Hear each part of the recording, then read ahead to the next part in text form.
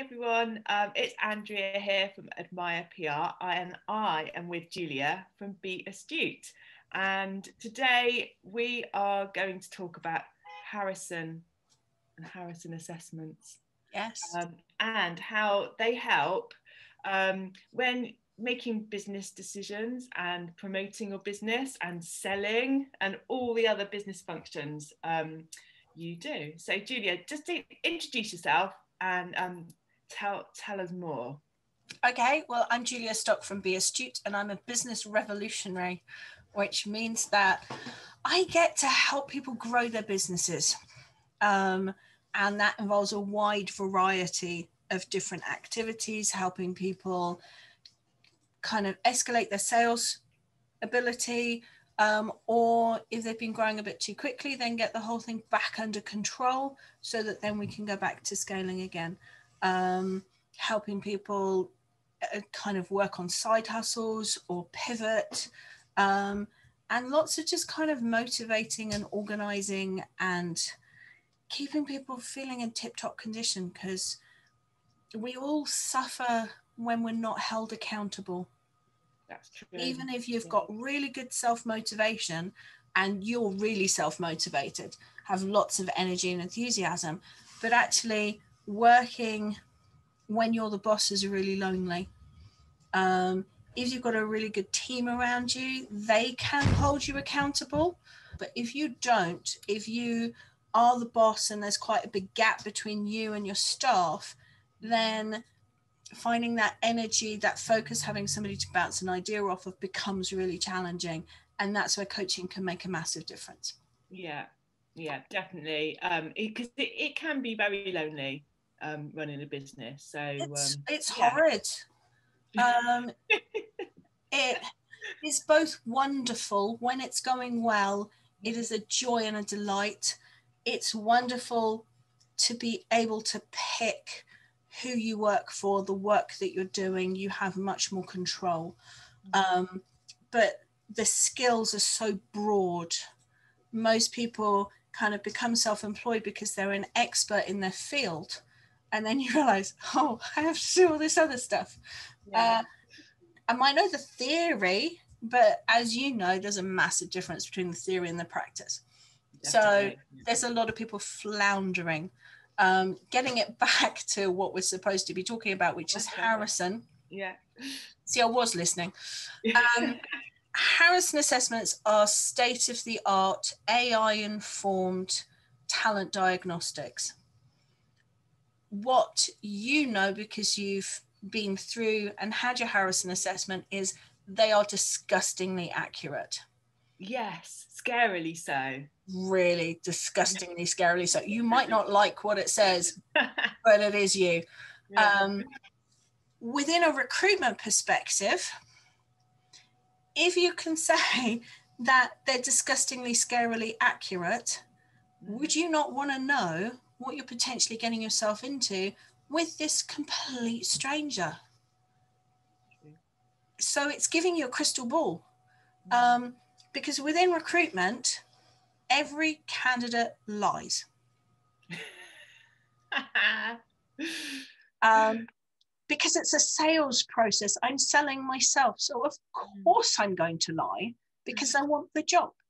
But as an employer, you are also lying because you want me to accept the job.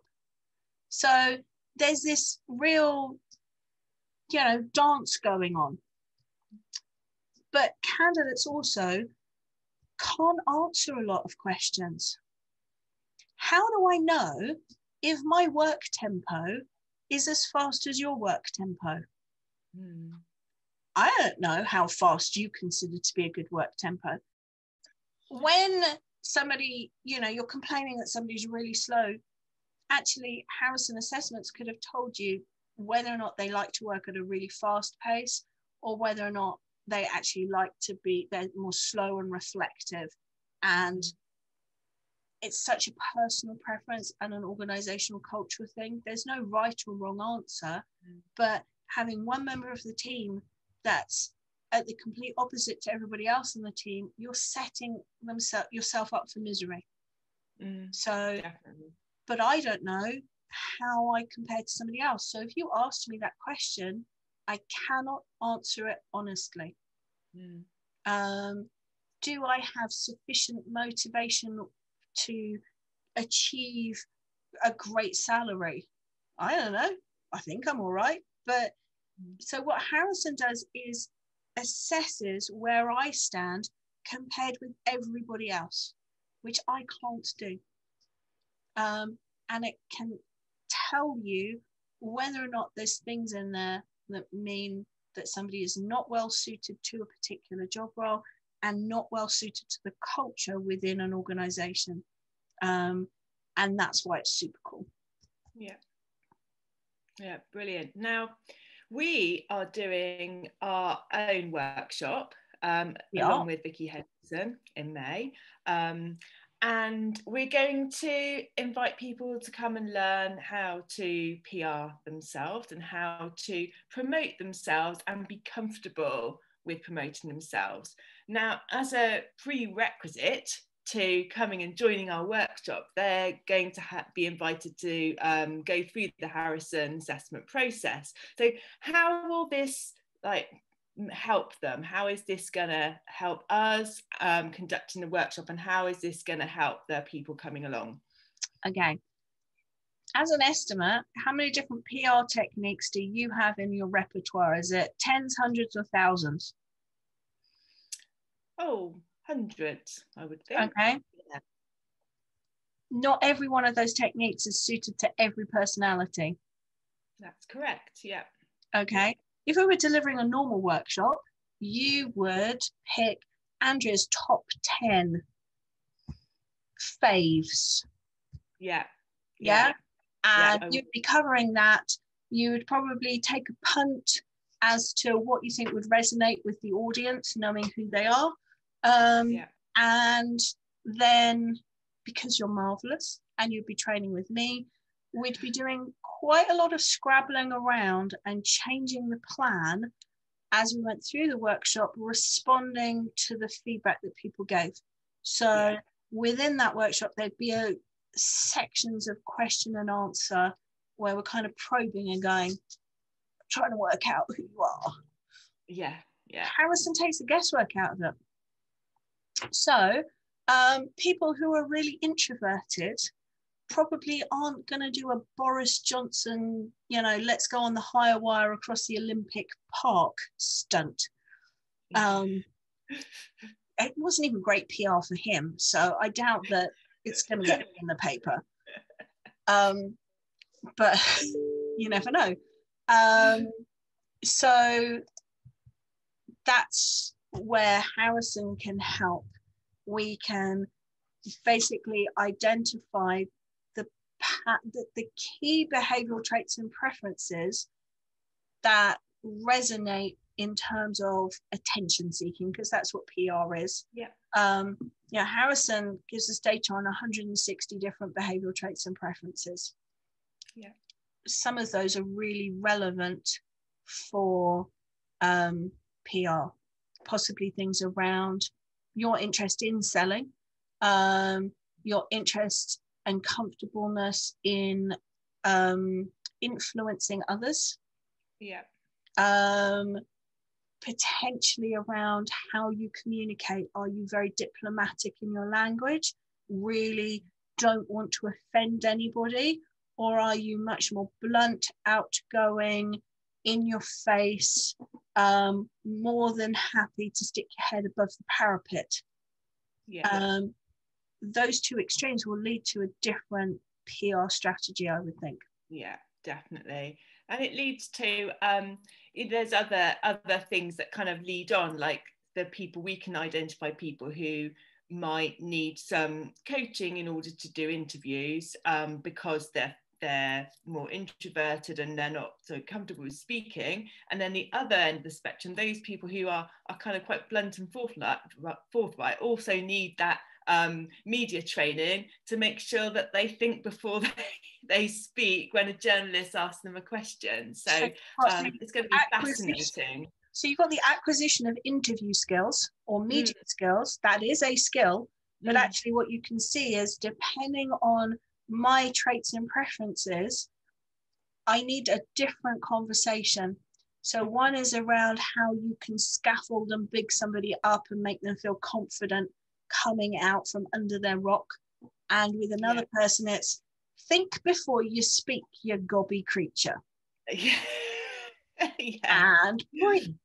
If you were to put those two people in the same room and deliver the same content, neither would benefit because the content that you would be delivering will be in the middle of that. Exactly. You'll yeah. be asking questions to go, oh, you're quiet.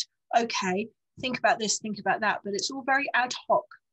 Mm. Whereas through Harrison, we know we've got five people in the room who are very quiet, really will struggle with this. Well, first of all, maybe we want to talk about how they can attention seek for their business, perhaps without having to do an interview, because they will find that really challenging, really uncomfortable.